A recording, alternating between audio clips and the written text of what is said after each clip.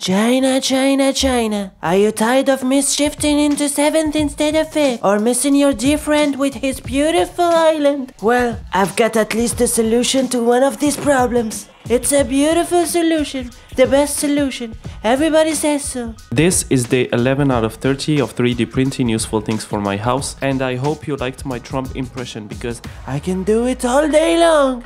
Okay, I will stop. The first issue that I wanted to fix doesn't really concern me as I got used to this gearbox, but every guest who tries my sim setup mistakes 7th for 5th and spins out. And the solution is quite simple.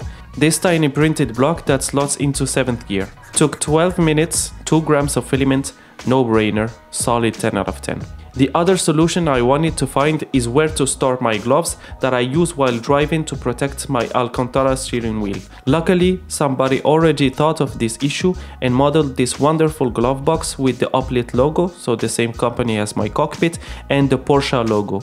You just need to bolt it on the chassis. So for just one euro and a half, it's a no-brainer as well.